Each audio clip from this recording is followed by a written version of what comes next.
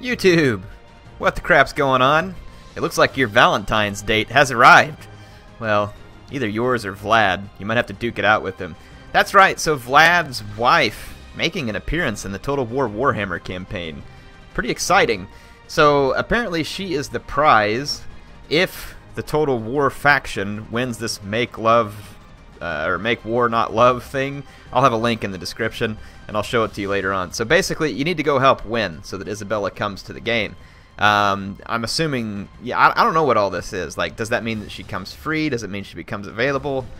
I haven't really figured all that out yet. If you know, you can say it in the comments. I guess I need to go read more of the news, but wanted to cover with you what we could expect. So basically, they tell us that Isabella and Vlad are constantly making out behind a dumpster in the back of the graveyard, and that this brings them lots of special powers. No, seriously though, they do make out behind the dumpster in the graveyard. In case you were wondering, um, it makes Vlad really, or uh, it makes Manfred really upset. He's jealous that his dad's getting all the action. in any case, there's going to be some really nice, uh, real jealousy going on between Vlad and Manfred because what this change would bring is actually split the vampire faction, which I've heard people saying is actually consistent with the lore, which is kind of cool.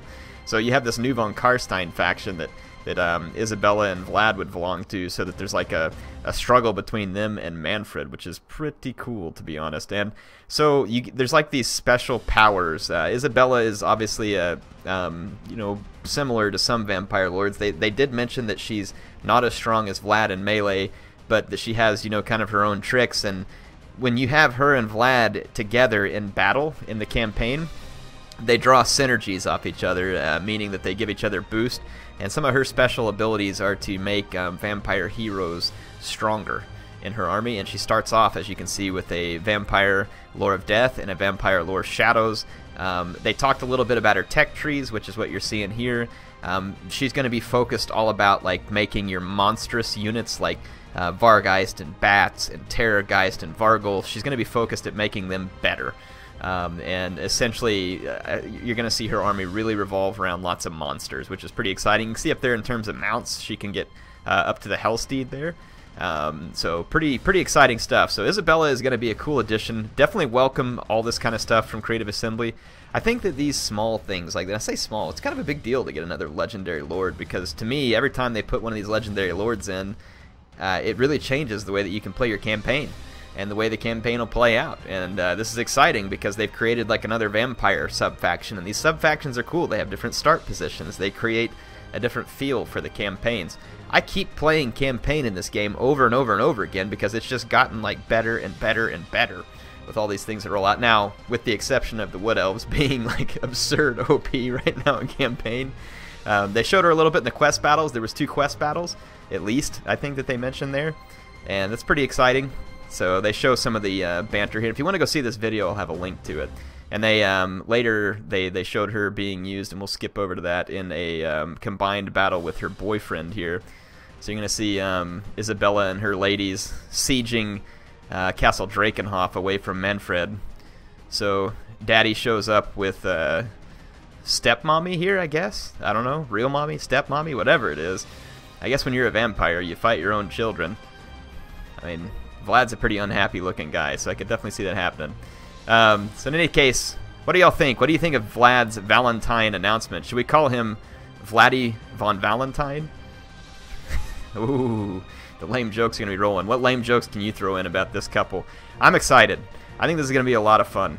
Um, definitely looking forward. And the vampires are, I don't know if they're that way for everybody, but I don't know if I would say they're my favorite faction in campaign, but they hold like a special place uh, in my heart for campaign um, because I, I, like just how they can face roll people with the constant raising of the dead and the huge hordes and all that other stuff. They add like a really cool uh, feel to campaign. So yeah, I'm super excited for the potential release of Isabella. You need to go to the a couple of links. One, go watch Total War's video about Isabella if you haven't already.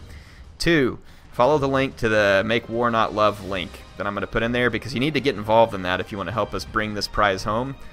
And three, I originally said two, but you need to do a third thing, and that is make your own lame joke about Vlad and how he's a uh, apparently potentially a girly man here for having to need his wife to come fight his battles for him.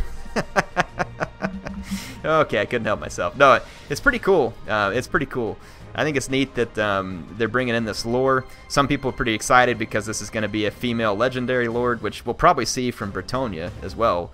Um, but you know, it's just it's neat stuff. I think there's a lot of cool things about it. and I'm just excited in general. You, you couple this up with the fact that we're going to have custom maps, being able to go into campaign. Think of the sieges and all the. Oh my gosh, campaign and Warhammer is about to go to a whole new level. So leave those jokes about Vlad and Isabella. Go to those links. Tell me what you think. Heir of Carthage signing out for now. Hope you're excited. I am.